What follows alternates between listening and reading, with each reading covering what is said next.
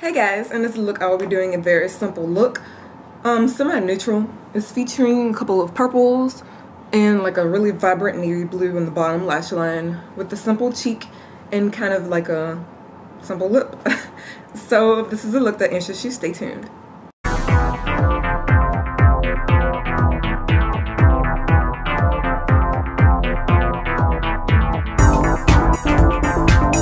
First, I applied my Too Faced Shadow Insurance all over my eyes. What I'm going to do now is take like a crease slash buffer color. This is Vibrant Grape by MAC. It's just a matte, bright, medium purple. Using a 226. I'm going to sweep this in my crease and slightly above.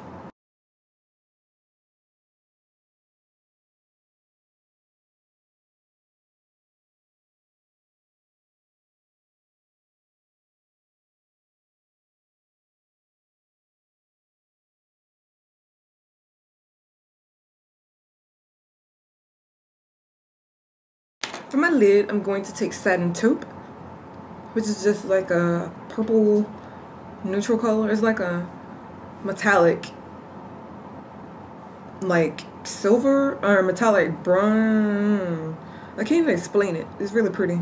It's like a must-have in your neutrals palette. I'm gonna take a L'Oreal Cornell flat brush, similar to the MAC 239, and I'm applying this on my lid.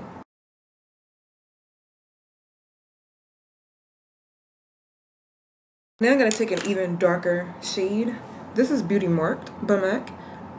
Honestly, you could just use a black or dark gray because it's very similar. It's not going to show like with all this shimmer as I want it to. It does pick up some though. Using a Kirkland blender brush. Applying this on my outer corner.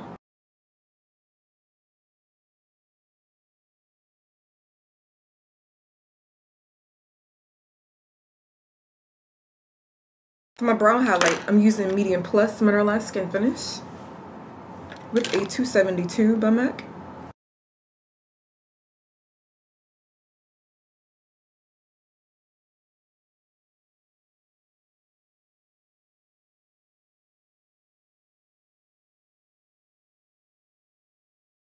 Now I'm going to go in with an eyeliner. This is Marine Ultra Chromagraphic Pencil. I'm applying this on the bottom and inside my waterline.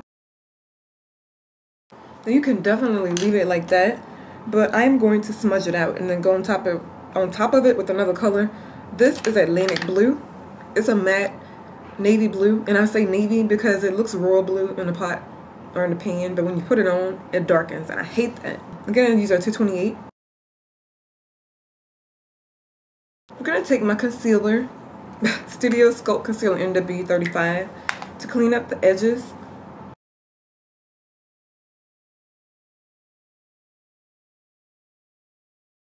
Now I'm going to take my eyeliner the top. I'm using Blacktrack Fluidline. And I'm also applying my Zoom Waterfast Lash Mascara from MAC. I don't know if I'm going to add lashes. I may or may not. If so, I'll tell you when I come back what I used. And for some reason, I thought I was filming my cheeks, but I guess I wasn't. For my cheeks, I used Eversun Beauty Powder Blush by MAC. It's just like a simple peachy coral blush. It's very neutral. I didn't want to take away from the eyes. And then for the lips, I used Radicchio lipstick by MAC. It's just a simple mauve purple lipstick and I applied a very light layer of that. For my lip gloss, I used NARS Boogie Nights, which looks like this. So basically I applied mostly gloss um, rather than lipstick and this is how it came out. And I really like the outcome, so I'll zoom in and show you the final look.